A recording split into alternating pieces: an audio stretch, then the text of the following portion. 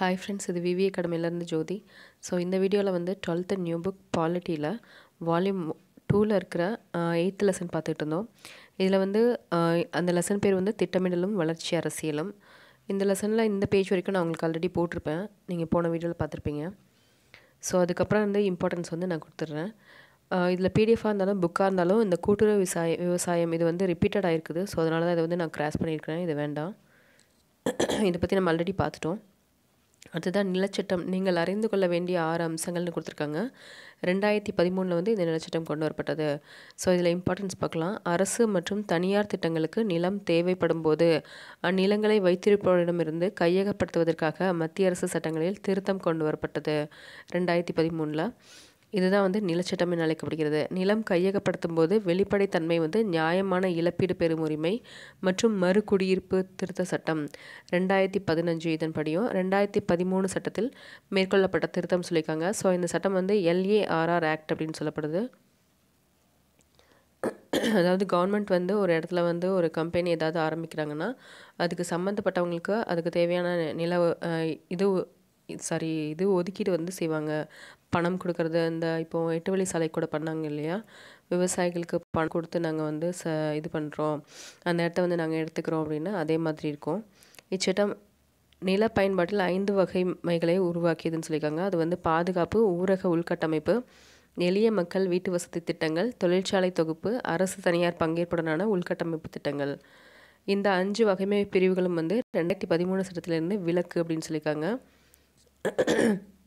அதாவது ரெண்டாயிரத்தி பதிமூணாம் சட்டத்தின்படி தனியார் நிலங்களுக்கு நிலம் கையகப்படுத்த நிலத்தின் அந்நிலத்தோட உரிமையாளர்களில் எண்பது விழுக்காடு உரிமையாளர்கள் ஒப்புதல் பெற வேண்டும் அப்படின்னு சொல்லியிருக்காங்க. அரசு தனியார் பங்களிப்பு திட்டங்களில் எழுபது விழுக்காடு நில உரிமையாளர்களின் ஒப்புதல் பெறுவது கட்டாயமாக்கப்பட்டிருந்தது.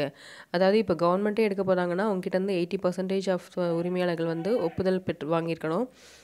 அரசு தனியார் பங்களிப்பு திட்டங்களை வந்து எழுபது விழுக்காடு வந்து வாங்கியிருக்கணும் அப்படின்னு சொல்லப்படுது. தனியார் நிலங்களுக்கு வந்து எண்பது விழுக்காடு. அடுத்ததாக பல்போக நிலங்களை கையகப்படுத்துவதற்கு நிலச்சட்டம் ரெண்டாயிரத்தி பதிமூணு விதித்திருந்த நிபந்தனைகளிலிருந்து முன்கூறிய ஐந்து பிரிவுகளுக்கு இச்சட்டம் விலக்கு அளிப்பதுடன் இத்திட்டங்களால் ஏற்படும் சமூக பாதிப்புகளை மதிப்பிடுவதற்கான சமூக பாதுகாப்பு மதிப்பீட்டாய்வும் செய்யப்படும் சொல்லியிருக்காங்க. நிபந்தனைகளிலிருந்தும் விலக்கு அளிக்கப்படுகிறதுன்னு சொல்லியிருக்காங்க. தேசிய நெடுஞ்சாலைகள் சட்டம் ரயில்வே சட்டம் போன்ற இதர சட்டங்களின் கீழ் இந்த இழப்பீடோ புனர்வாழ்வு மறுகுடியிருப்பு வழங்குவது வந்து தொடர்பான பிரிவுகளும் வந்து இந்த எல்ஏஆர் எல்ஏஆர்ஆர் ஆக்டில் வந்து சொல்லியிருக்காங்க. அடுத்ததாக தனியார் நிறுவனங்களுக்கான நில கையகப்படுத்துதல் பிரிவில் மாற்றங்கள் ஏற்படுத்தியது. இதன்படி தனியார் பிரிவின் கீழ் கம்பெனிகள் குழும நிறுவனங்கள் லாப நோக்கமற்ற அமைப்புகள் ஆகியவற்றையும் சேர்க்க முடியும்னு சொல்லியிருக்காங்க. ஸோ இந்த ஆறு பாயிண்ட்ஸுமே ரொம்ப முக்கியம். இதில் வந்து எது வந்து தவறானது அப்படின்ற மாதிரி ஏதாவது ஒரு தப்பான ஒரு மேட்ச் வந்து கொடுத்துட்டு கேட்கலாம். ஸோ அதனால் பார்த்துக்கோங்க. அடுத்ததாக பசுமை புரட்சி பற்றி கொடுத்துருக்காங்க. நாட்டின் மொத்த உள்நாட்டு உற்பத்தியில் வேளாண்மையின் பங்கு வந்து பன்னெண்டு டு பதினைந்து சதவீதமாகும். அடுத்ததாக விடுதலையை அடுத்த பத்தாண்டுகளில் வந்து மக்கள் தொகை ஆண்டுக்கு ரெண்டு புள்ளி ஐந்து சதவீதம் வந்து அதிகரிச்சுட்டே வந்தது. இதனால் பாரம்பரிய முறை விவசாயம் மூலமும் உணவுப் பொருட்கள் தேவையை வந்து ஈடுகட்ட முடியல. ஈடுகட்ட முடிந்தது. ஆனால் ஆயிரத்தி தொள்ளாயிரத்தி அறுபதுக்கு அப்புறமா மக்கள் தொகையோட உணவு தேவை வந்து அதிகமானதுனால பற்றாக்குறை ஏற்பட தொடங்கியது. இதையொட்டியே வந்து பசுமை புரட்சி வந்து உருவானதுன்னு சொல்லியிருக்காங்க. அடுத்ததாக ஆயிரத்தி தொள்ளாயிரத்தி அறுபதுகளின் போது ஃபோட்டோ அறக்கட்டளை பரிந்துரைகள் அடிப்படையில் புதிய வேளாண்மை கொள்கை வந்து உருவாக்கப்படுதுன்னு சொல்லியிருக்காங்க. ஸோ இப்போ ஆயிரத்தி தொள்ளாயிரத்தி அறுபதில் தான் வந்து இந்த பசுமை புரட்சி வந்து தொடங்கியிருக்குது. என்ன அறக்கட்டளைனா ஃபோர்ட் அறக்கட்டளையோட பரிந்துரைகளோட அடிப்படையில் கொண்டு வரப்பட்டிருக்குது. இந்தியாவின் உணவு நெருக்கடியும் அதை எதிர்கொள்ளும் வழிகளும் என்னும் தலைப்பில் வந்து அளிக்கப்பட்ட அந்த பரிந்துரை. அந்த பரிந்துரையோட அறிக்கையில் வந்து அதிக விளைச்சல் அளிக்கும் விதைகளை பயன்படுத்துதல் வேளாண் நடவடிக்கைகளை வந்து இயந்திரமயமாக்குதல் உற்பத்தி முறைகளை வந்து தீவிரமாக்குதல் போதுமா போதுமான உரங்களை வந்து பயன்படுத்துதல். இதன் மூலமாக வந்து உணவு பற்றாக்குறையை வந்து சரி செய்ய முடியுங்கிறத ஏற்படுத்துனாங்க. இதை அமுல்படுத்தி மெக்சிகோ பெரும் வளர்ச்சி கண்டிருந்தது. ஸோ இந்த முறையெல்லாம் வந்து யூஸ் பண்ணி ஃபஸ்ட்டு வந்து மெக்சிகோ வந்து வளர்ச்சி அடைந்தது. அதுக்கப்புறமா ஃபிலிப் ஃபிலிப்பைன்ஸ் நாடும் கூட வந்து விவசாய உற்பத்தியில் வந்து தன்னிறைவுக்கான பரிந்துரைகளை ஏற்றது. அதாவது இந்த ஃபோர்ட் அறக்கட்டளையோட இந்த இதை வந்து இந்த இந்த இதெல்லாம் வந்து அவங்க வந்து சொல்லியிருந்தாங்க. அதாவது வீரியமான விதைகளை யூஸ் பண்ணுறது விவசாயத்தை வந்து இந்திரமய இயந்திரமயமாக்குது. இது மூலமாக வந்து ஃபஸ்ட்டு வந்து மெக்சிகோ வளர்ச்சி இருந்தது அதுக்கப்புறமா ஃபிலிப்பைன்ஸும் இதை வந்து அக்செப்ட் பண்ணிட்டாங்க. அதே மாதிரி இந்தியாவும் இதை வந்து செயல்படுத்த தொடங்கியது. எப்படின்னா ஆயிரத்தி தொள்ளாயிரத்தி ஐம்பத்தி ஒம்போது அறுபதாம் ஆண்டு ஏற்று வேளாண் சீர்திருத்தங்களை அறிமுகம் செய்தது. இச்சீர்திருத்தங்கள் ஒரு கலப்பு திட்டமாக அமைந்தனன்னு கொடுத்துருக்காங்க. பசுமை புரட்சி என அழைக்கப்படும் இத்திட்டம் வந்து வேளாண் அறிவியலாளர் எம் எஸ் சுவாமிநாதன் அவர்களால் உருவாக்கப்பட்டது. இதனால் இவர் வந்து பசுமை புரட்சியின் தந்தை என அழைக்கப்படுகிறார். ஸோ இது உங்களுக்கு தெரிஞ்சிருக்கோம். பழைய புக்கிலேருந்தே படிச்சிருப்போம். சுருக்கமாக கூறினால் பாசன வசதிகள் அதிகரிப்பு புதிய உரங்களோட பயன்பாடு ஆகியனவையே இந்திய பசுமை புரட்சி என அறியப்படுகிறதுன்னு சொல்லியிருக்காங்க. பசுமை புரட்சியின் மூலம் வந்து ஆயிரத்தி தொள்ளாயிரத்தி அறுபத்தி ஏழு டு அறுபத்தெட்டில் வந்து நம்ம ஐம்பது சதவீதம் வேளாண் உற்பத்தி வந்து அதிகரித்ததுன்னு சொல்லியிருக்காங்க. முதல் கட்டமாக ஆயிரத்தி தொள்ளாயிரத்தி அறுபதில் ஏழு மாநிலங்களில் ஏழு மாவட்டங்களில் வந்து இந்த முன்மாதிரியான இந்த திட்டங்களை வந்து செயல்படுத்தினாங்க. இதை வந்து ஐஏடிபி அப்படின்னு சொல்லப்படுது இந்த திட்டங்களை. என்னும் பெயரில் செயல்படுத்தப்பட்டதுன்னு கொடுத்துருக்காங்க. அடுத்ததாக ஆயிரத்தி தொள்ளாயிரத்தி அறுபத்தி அஞ்சில் வந்து நூற்றி நாற்பத்தி நாலு மாவட்டங்கள் என மேலும் வந்து இந்த திட்டம் விரிவடைந்தது அப்படின்னு சொல்லியிருக்காங்க. தொடக்கத்தில் ரெண்டு மில்லியன் ஹெக்டேர் நிலங்களில் செயல்படுத்தப்பட்டது. படிப்படியாக மேலும் விரிவுபடுத்தப்பட்டு எழுபது மில்லியன் அதாவது ஏழு கோடி ஹெக்டேர் நிலங்களில் வந்து செயல்படுத்தப்பட்டதுன்னு சொல்லியிருக்காங்க. இது இந்தியாவோட மொத்த நிலங்கள்னு பார்க்கும்போது நாற்பது சதவீதம் ஆகும். அடுத்ததாக கோதுமை விளைவிக்கும் பஞ்சாப் ஹரியானா உத்தரப்பிரதேசம் போன்ற வட மாநிலங்களில் துரிதமாக நல் விளைவுகள் காணப்பட்டன அப்படின்னு கொடுத்துருக்காங்க. நெல் பயிரிடம் தென் மாநிலங்களான தமிழ்நாடு கர்நாடகம் போன்ற மாநிலங்கள் வந்து குறைவான வெற்றி காணப்பட்டன அப்படின்னு சொல்லியிருக்காங்க. ஸோ அதிக விளைச்சல் கொடுத்தது வந்து கோதுமையில் தான் பசுமை புரட்சியோட முக்கிய தாக்கங்கள் அப்படின்ற ஹெட்டிங் கீழே வேளாண் உற்பத்தி தொடர் அதிகரிப்பு அதாவது ஆயிரத்தி தொள்ளாயிரத்தி ஐம்பதுகளில் நிலவிய உணவு பற்றாக்குறை காரணமாக உணவு தானியங்களை பிஎல் ஃபார்ட்டி திட்டத்தின் கீழ் அமெரிக்காவிலிருந்து உணவு தானியங்களை இந்தியா இறக்குமதி செய்ய வேண்டியிருந்தது கொடுத்துருக்காங்க. அதாவது ஆயிரத்தி தொள்ளாயிரத்தி ஐம்பதில் நம்ம அறுபதுலேருந்து தான் வந்து பசுமை புரட்சி தொடங்கணும் இல்லையா? ஸோ அதுக்கு முன்னாடி நடந்து கொடுத்துருக்காங்க? விவசாய தொழிலாளர்களின் வேலைவாய்ப்புகள் வந்து அதிகரித்தன. இரண்டாவதாக அறிவியல் முறையில் வேளாண் உற்பத்தியில் ஈடுபடுவதற்கு தகுதி பெற்ற வேளாண் பொறியாளர்களின் தேவையும் அதிகரித்தது. இது வந்து வேளாண் வாய்ப்புகள் அதிகரிப்பு அதாவது ஆயிரத்தி தொள்ளாயிரத்தி அறுபதுக்கு அப்புறமா. வேளாண்மை தொழிற்ச தொழில்துறை சந்தை. அடுத்ததாக மாநிலங்களுக்கு இடையிலான பரிமாற்றம் மற்றும் சந்தை முறை. இந்த ஹெட்டிங் கீழே. உபரி உற்பத்தி அடைந்த மாநிலங்கள் வந்து வறட்சியால் பாதிக்கப்பட்ட விதர்பா பகுதி மற்றும் தெலுங்கானா மாநிலத்திற்கு தங்கள் உபரியை வந்து விநியோகித்தனர் அப்படின்னு கொடுத்துருக்காங்க ஸோ அதிகமாக இது வந்து பஞ்சத்தினால வறட்சியால் இது பண்ணுறது வந்து விதர்பா அப்படின்ற பகுதியும் தெலுங்கானா மாநிலத்திற்கும் வந்து இவங்க இவங்களால் அதாவது பசுமை புரட்சியால் ஏற்படுத்தப்பட்ட அந்த பயனை வந்து அழிச்சாங்க அடுத்ததாக பசுமை புரட்சியோட சாதனைகள். இதில் வந்து இம்பார்ட்டன்ஸ் மட்டும் பார்க்கலாம். உணவு தானிய பற்றாக்குறை முடிவுக்கு வந்தது. உணவு தானியங்களை இறக்குமதி செய்யும் நாடு என்ற எதிர்மறை நோக்கு மறைந்தது. இறக்குமதினா மற்றவங்ககிட்ட இருந்து நம்ம உணவுக்காக உணவு விதைகளையோ இல்லை தானியங்களையோ வாங்கிக்கிறோம் இல்லையா? அதை தான் வந்து எதிர்மறை நோக்கு. அது வந்து மறைஞ்சிருச்சு அப்படின்னு சொன்னாங்க. நீலம் மஞ்சள் வெண்மை புரட்சிகளின் மூலமாக மீன் வளம் கோழி வளர்ப்பு மற்றும் பால் பண்ணை தொழில்கள் கூட மிகப்பெரிய மாற்றம் கொண்டு வரப்பட்டன கொடுத்துருக்காங்க. பணப்பயிர்கள் மற்றும் நறுமண பொருட்கள் உற்பத்திக்கும் சம முக்கியத்துவம் அளிக்கப்பட்டதால் பணப்பயிர்களை பல்வேறு நாடுவது நாடுகளுக்கு வந்து ஏற்றுமதி செய்யும் நாடாக இந்தியா உருவானது. இதனால் வந்து அந்நிய செலவு வரவு வந்து அதிகரித்ததுன்னு கொடுத்துருக்காங்க. அடுத்ததாக வெண்மை புரட்சி பற்றி கொடுத்துருக்காங்க. பால் தயிர் நெய் போன்ற குழந்தைகளுக்கு தேவையான பால் பொருட்கள் உற்பத்தியிலும் ஆயிரத்தி தொள்ளாயிரத்தி ஐம்பதின் வாழ்க்கையில் இந்தியாவில் தன்னிறைவு காண இயலவில்லை. ஸோ இந்த பட்டாக்கள் எல்லாமே வந்து ஆயிரத்தி தொள்ளாயிரத்தி ஐம்பதில் தான் இருந்திருக்குது. ஆயிரத்தி தொள்ளாயிரத்தி அறுபதுலேருந்து அப்படியே மாறிடுச்சு. பால் பவுடர் வெண்ணெய் மற்றும் குழந்தைகளுக்கான பால் பொருட்களை அப்போது இந்தியா இறக்குமதி செய்து வந்தது. எப்போ எப்படி வந்து உணவு தானியங்களை இறக்குமதி செஞ்சுட்டு வந்தாங்களோ அதே மாதிரி பால் பொருட்கள் சார்ந்த இந்த விஷயங்களையும் வந்து இறக்குமதி தான் இந்தியா வந்து செஞ்சுட்டு வந்தது. ஆயிரத்தி தொள்ளாயிரத்தி எழுபதில் வந்து பால் தேச தேசிய பால் வளம் மேம்பாட்டு வாரியம் ஊரக வளர்ச்சி திட்டமாக தொடங்கப்பட்டதுன்னு கொடுத்துருக்காங்க. ஸோ அறுபதில் வந்து நம்மளோட பசுமை புரட்சியும் எழுபதில் வந்து இந்த பால் வளர்ச்சியும் வந்து கொண்டு வரப்பட்டது. அதுதான் இந்த பாக்ஸில் பால்வளத்தை பெருக்கும் வகையில் ஆயிரத்தி தொள்ளாயிரத்தி எழுபத்தி ரெண்டில் வந்து தமிழ்நாடு பால்வள மேம்பாட்டுக் கழகம் அப்படிங்கிறத தொடங்கியிருக்குது. இது வந்து டாக்டர் குரியன் வழியில் ஆயிரத்தி தொள்ளாயிரத்தி எண்பத்தி ஒன்றில் தமிழ்நாடு கூட்டுறவு பால் உற்பத்தியாளர்கள் சங்கங்களின் கூட்டமைப்பாக வந்து விரிவுபடுத்தப்பட்டதுன்னு கொடுத்துருக்காங்க. அடுத்ததாக ஆவின் செயல்பாடுகளால் தமிழ்நாட்டில் தனிநபர் பால் நுகர்வு. ஆயிரத்தி தொள்ளாயிரத்தி தொண்ணூற்றி மூணு டு தொண்ணூற்றி நாலில் வந்து ஒரு நாள் ஒன்றுக்கு நூற்றி அறுபத்தொம்போது கிராமாக தான் இருந்தது. ரெண்டாயிரத்தி பதினெட்டு பத்தொம்போதில் வந்து இது இரநூத்தி அறுபத்தெட்டு கிராமாக அரி அதிகரித்ததுன்னு கொடுத்துருக்காங்க ஸோ இந்த பாக்ஸில் வந்து முக்கியம் பார்த்துக்கோங்க.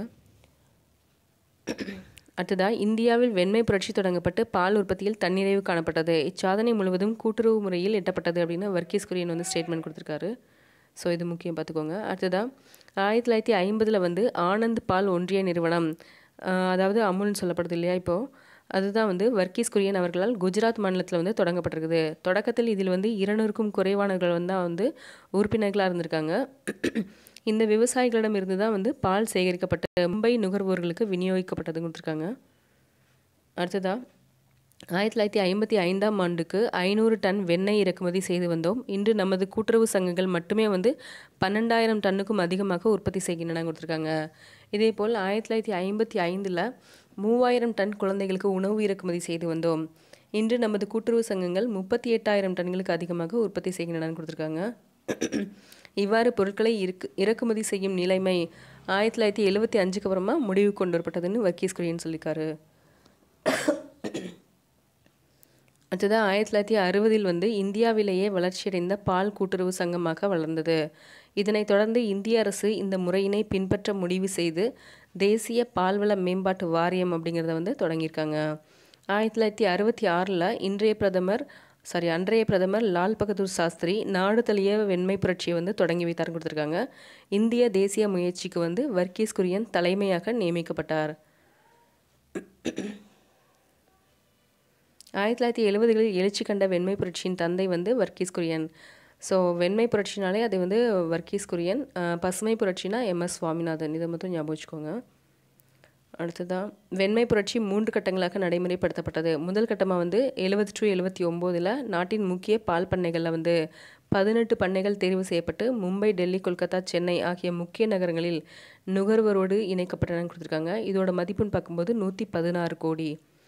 ரெண்டாம் கட்டமாக எண்பத்தி ஒன்று எண்பத்தி அஞ்சில் இந்த பதினெட்டு பண்ணையாக இருந்தது. நூற்றி முப்பத்தி ஆறு பண்ணைகளாக அதிகரிக்கப்பட்டது. இதன் மூலமாக இரநூத்தி தொண்ணூறு நகர்ப்புற சந்தைகளின் நுகர்வோடு வந்து இந்த பால் விநியோகம் இணைக்கப்பட்டது. எண்பத்தி அஞ்சு இறுதியில் வந்து நாற்பத்தி மூணாயிரம் தன்னிறைவு கிராம கூட்டுறவு சங்கங்கள் இதில் இணைந்து கொடுத்துருக்காங்க. ஸோ இந்த இதெல்லாம் வந்து ஜஸ்ட் தெரிஞ்சுக்கோங்க. இந்த நம்பர் ஆஃப் வேல்யூஸ் இவ்வளோ பேர் இத்தனை லட்சம் பேர் வந்து உற்பத்தியாளர்கள் வந்து இருந்தாங்க அப்படின்னு ஏன்னா இது அக்யூரேட்டாக ஞாபகம் வச்சுருக்க முடியாது. ஸோ இயர்ஸ் வந்து பார்த்துக்கோங்க. முதல் கட்டம் வந்து எந்த இயர் டு எந்த இயர் இரண்டாம் கட்டம் எந்த இயர் அதெல்லாம் மட்டும் பார்த்துக்கோங்க.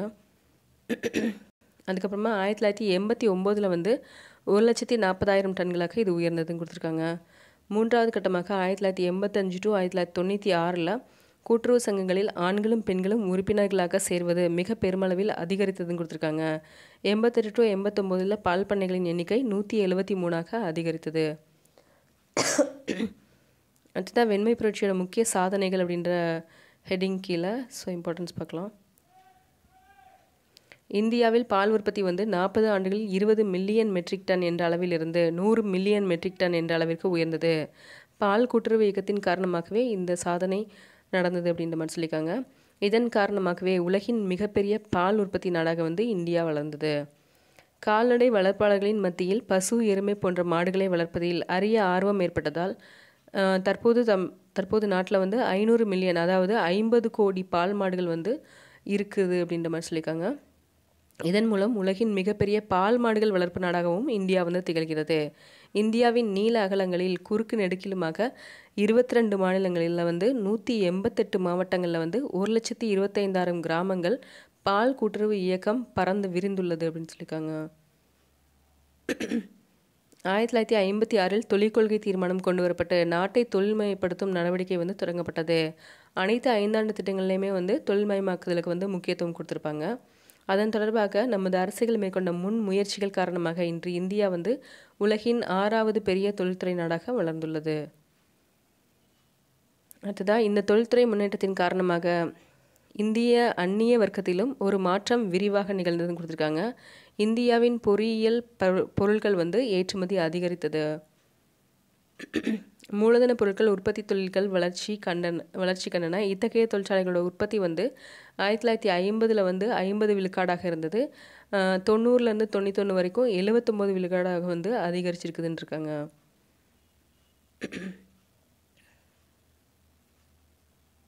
அடுத்ததாக தொழில் கொள்கைகள் வந்து கொண்டு வரப்பட்டது. ஒரு ஆறு தொழிற்கொள்கைகளை பற்றி இங்கே கொடுத்துருக்காங்க. ஃபஸ்ட்டு தொழிற்கொள்கை வந்து ஆயிரத்தி தொள்ளாயிரத்தி நாற்பத்தி எட்டுலையும் இரண்டாவது ஐம்பத்தி ஆறில் மூணாவது எழுபத்தி மூணில் அடுத்ததாக எழுபத்தி ஏழில் இது வந்து பிஜேபி கொண்டு வந்திருப்பாங்க. ஆனால் நடைமுறைப்படுத்தியிருக்க மாட்டாங்க.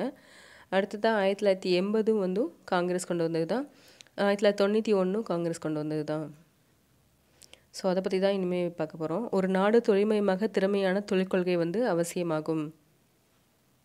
அடுத்ததாக ஆயிரத்தி தொள்ளாயிரத்தி நாற்பத்தி எட்டாம் ஆண்டு தொழிற்கல்வியை பற்றி கொடுத்துருக்காங்க. இந்தியா வந்து கலப்பு பொருளாதார கோட்பாட்டினை ஏற்றுக்கொண்டதை தொடர்ந்து ஆயிரத்தி தொள்ளாயிரத்தி நாற்பத்தி எட்டில் நிறுவப்பட்ட தொழிற்கொள்கை தீர்மானம் பொதுத்துறை மற்றும் தனியார் துறைகள் தங்களுக்கான பகுதிகளில் தொடர்ந்து இயங்கும் என்பதை வலியுறுத்தியது. அனைத்து முக்கிய தொழில்களும் மத்திய அரசோட கட்டுப்பாட்டின் கீழ் வந்தனன்னு கொடுத்துருக்காங்க. தொழிற்கொள்கை தீர்மானம் ஆயிரத்தி தொள்ளாயிரத்தி ஐம்பத்தி ஆறு தொழிற்கொள்கை தீர்மானம் ஆயிரத்தி தொள்ளாயிரத்தி ஐம்பத்தி ஆறு ஏப்ரலில் வந்து நிறைவேற்றப்பட்டது. இதன்படி மூன்று வகை தொழில்கள் வந்து வகைப்படுத்தப்பட்டனன்னு சொல்லியிருக்காங்க.